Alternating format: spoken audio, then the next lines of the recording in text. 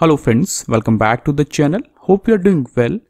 If you are facing this kind of blue screen recovery error on your laptop or desktop, in this video we are going to fix this issue. So the first step you can try is simply click on this option restart my PC.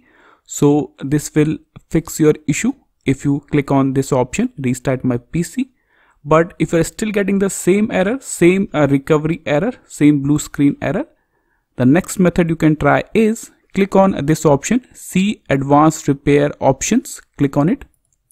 Now click on this troubleshoot option then click on advanced option then click on this option at the top startup repair.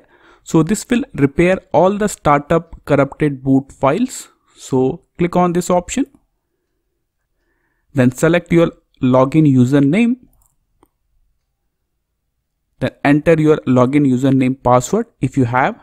If you do not have any password, if you don't use any uh, login username password, leave it blank. Then click on continue. Now this will diagnose your PC and repair all the startup files. You have to wait uh, for around 2 or 3 minutes. If you see this error, startup repair. Startup repair could not repair your pc that means uh, this option is not able to fix the error. Now move on to a next method. Click on this advanced option again. Then click on troubleshoot. Then click on advanced option. Now click on this command prompt option. Now we are going to manually repair our windows corrupted files so to repair your Windows corrupted files, you have to type a command. So the command will be sfc space slash scan now. So this command will repair all the Windows corrupted files.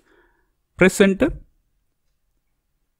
Process started and this will take around uh, 3 to 5 minutes to complete. So the verification process has been completed. Now cut this window and after that click on this continue option.